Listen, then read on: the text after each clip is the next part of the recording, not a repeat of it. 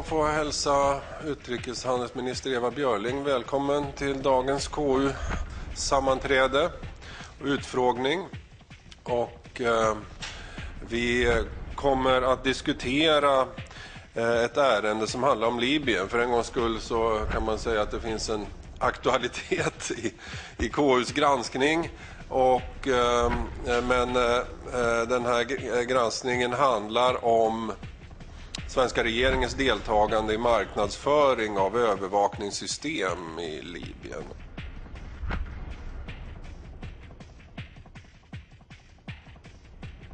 På en presskonferens nu i eftermiddag så eh, kallade du Gaddafi-regimen för en ovanligt bizarr regim. Vad menar du då? Ja, den var det ju. Det här var ju ingen, det här var ingen vanlig diktatur utan det här var en osedvanlig bisarr regim. Excellency, how are you? Welcome to Libya. Välkommen till Libyen, en av världens hårdaste diktaturer. Sveriges handelsminister Eva Björling leder en skara hoppfulla svenska affärsmän som vill etablera sig här. För Libyen är stormrikt på olja och stora kontrakt hägrar. Tillbaka på hotellet är det cocktailparty och stämningen är på topp. Vi hör Björn Olsson från rymdbolaget be Björling att ordna en direkt kontakt med Libyens militär för att sälja in övervakningssystemet för flyktingarna.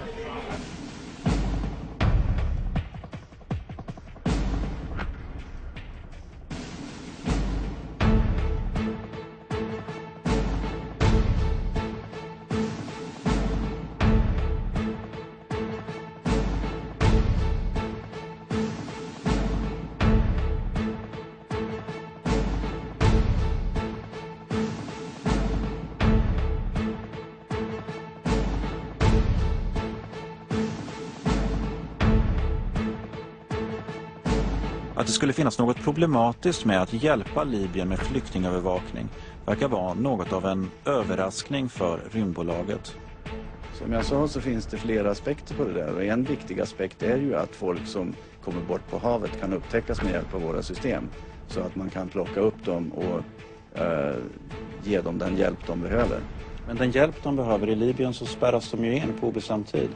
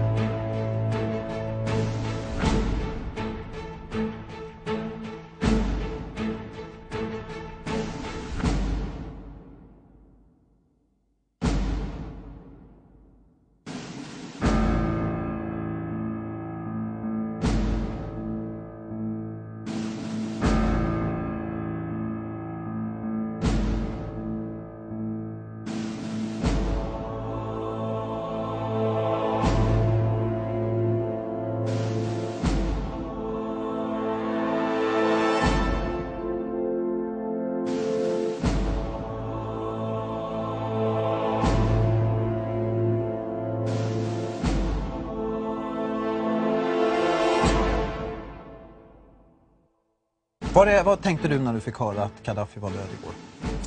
Ja, jag nästan anade att han skulle ha funnits i Sirt, att han inte skulle lämna. För han var så förakt, han föraktade att Ben Ali hade lämnat Tunisien och Mubarak hade lämnat Egypten.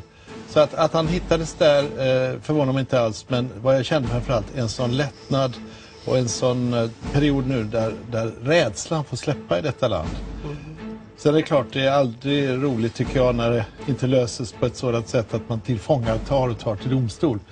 Man vet ju inte under vilka omständigheter han eh, dog.